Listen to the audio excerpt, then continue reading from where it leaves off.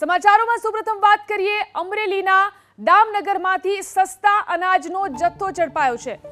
અમરેલીના દામનગરમાંથી સસ્તા અનાજનો જથ્થો ઝડપાયો. મામલતદારે ભાડાના મકાનમાંથી અનાજનો જથ્થો જપ્ત કર્યો છે. તો ગાડીમાંથી અનાજ ઉતારાતા સમયે મામલતદાર ત્યાં પહોંચ્યા.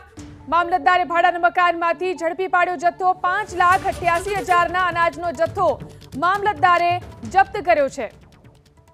તો મામલતદારે જે જથ્થો જપ્ત કર્યો ગામની આસપાસ સસ્તા અનાજમાં ભેગું કરીને વહેંચવાનું કૌભાંડ ચાલતું હતું.